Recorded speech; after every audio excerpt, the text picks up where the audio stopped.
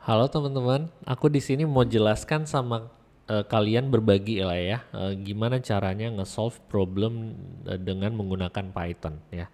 Ini aku pakai HackerRank karena ini gratis dan juga eh, kalian nggak perlu install-install, kalian bisa langsung cobain di sini. Tujuan dari ini aku jelasin adalah memberikan sama kalian sebenarnya pemahaman gimana nge-solve problem dengan benar. Sekalian belajar Pythonnya juga tentunya ya. Nah, jadi kalau misalnya kalian buka satu ini ya, kita fokusnya dulu satu-satu ke Python ya. Nah, di sini kalau misalnya kalian mau lihatin yang pertama ya, sini ada yang aku tadi udah solve satu, coba sistemnya. Nah, di sini adalah yang pertama say hello world with Python ya. Pertama kali yang pasti adalah apa? Yang perlu dilakukan adalah kita punya problem ya. Ya kan? Nah, ini harus dipahami dulu ya. Kalau kita nggak paham masalahnya, buru-buru nge-solve ya kan. Tapi kita harus pahami dulu problemnya apa ya kan. Sampai itu jelas ya kan. Baru nanti kita baru usaha untuk solve-nya ya. Nah, setelah kita usahakan untuk solve-nya, berarti kita desain solusi, ya kan? Ini tahap analisis. Setelah didesain, baru diimplementasikan, dan kita harus testing, ya. Seperti itu. Nah, jadi pelan-pelan ikutin stepnya. Nanti kalau kalian sudah benar-benar udah fasih, itu kalian bisa lebih cepet ya. Tapi pertamanya lambat nggak masalah, ya. Nah, di sini kita akan uh, melihat ini sampel line code yang bisa dieksekusi dengan menggunakan Python katanya ya. Nah, ini apa hasilnya ya kan? Kalau misalnya ini line of code-nya seperti ini, kalian bisa coba-coba di editornya sebenarnya ya. Ini kan ya. Kalian bisa lihat nih ya.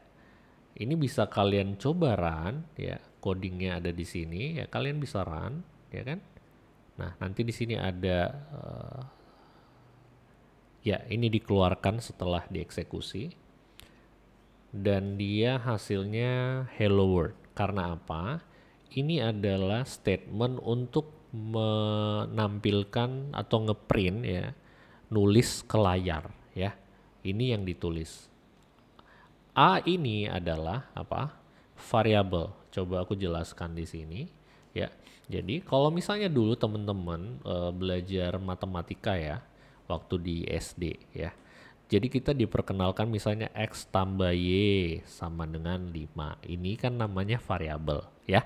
Jadi kalau misalnya aku bilang X sama dengan 2, Y sama dengan 3 ya kan. Berarti nanti setiap kali ada muncul angka eh, X ya, simbol X ini akan bisa diterjemahkan menjadi 2 dan Y dijemahkan menjadi tiga ya kan seperti itu ya. Jadi kalau misalnya X sama dengan dua dan ya, berarti kalau misalnya ada masalah kayak gini ya berarti ini nanti semuanya diganti. Nah menjadi dua ya. Seperti itu juga yang dilakukan oleh uh, komputer ya sama. Jadi kita akan menyimpan ini data ya di dalam variabel dan terhadap data ini kita bisa melakukan yang namanya operasi ya. Operasi terhadap data itu ya kan? Outputnya bisa merupakan data yang baru atau action ya. Nah di sini kita melihat kalau dia punya data dan actionnya adalah ditulis ke layar ya. Seperti yang di bawah ini dia udah kerjakan seperti itu ya. Nah ini udah jelas tadi kita cobain hasilnya adalah hello world akan di print ke screennya ya. Dan kalian coba. Nah dan sekarang karena sebenarnya konsepnya adalah kalian punya sesuatu algoritma gitu ya ada input ya kan? Nah, ada output ya. Ya kan? Nah di sini katanya in, uh, misalnya gini ya ini ada input ya. Misalnya uh, 5 gitu ya. X sama dengan 5 Y sama dengan 2 gitu ya. Fx nya atau uh, operasinya adalah 5 tambah 2 ya kan? Outputnya ya 7 gitu ya. Jadi sederhananya kayak gitu. Tapi sekarang katanya dia kita nggak punya input ya. Berarti ininya hanya apa? Dia hanya mengeprint doang karena nggak ada masukan sama sekali gitu ya. Nah sebenarnya ini kan dia ngeprint A isinya ini ya. Sebenarnya kan ini kan nanti akan diterjemahkan kayak gini kan ya. Langsung kan sebenarnya kan karena A-nya diganti menjadi uh, hello world.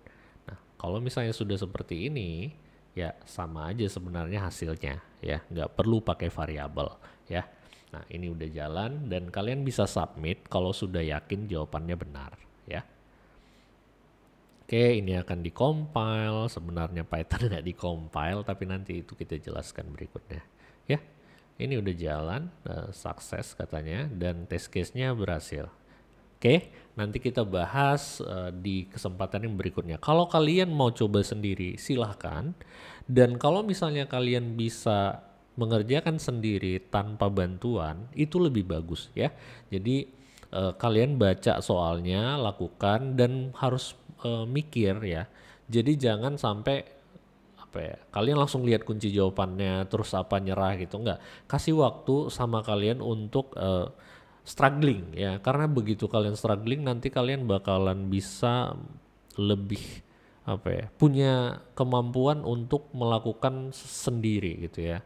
Independent work gitu ya jadi kita nggak perlu takut. Nah kalau kalian next challenge nah nanti kalian baca dulu ya. Ini langsung dijelaskan mengenai if else. Nanti aku jelaskan ya, tapi usahakan belajar sendiri dulu karena di sini ada tutorialnya ya. Nah, di sini ada tutorialnya dan nanti uh, kalian coba baca sendiri. Kalau misalnya kalian sudah paham, kalian coba-coba dulu apa maksudnya, ya. Baru nanti uh, eksekusi uh, di sini, ya. Coba aku uh, kasih sama kalian waktu untuk mencoba sendiri, independent works, ya. Dan kalau misalnya kalian berhasil, ya itu lebih bagus daripada kalian nunggu aku. Oke, okay, thank you. See you, see you next time. Bye.